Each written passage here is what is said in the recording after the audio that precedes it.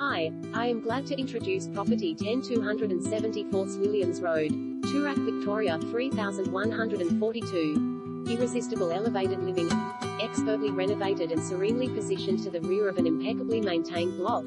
This top floor apartment offers an elevated retreat only moments from Toorak Village. The exceptionally generous proportions are enhanced by an open plan design and interior finishes which are as stylish as they are functional.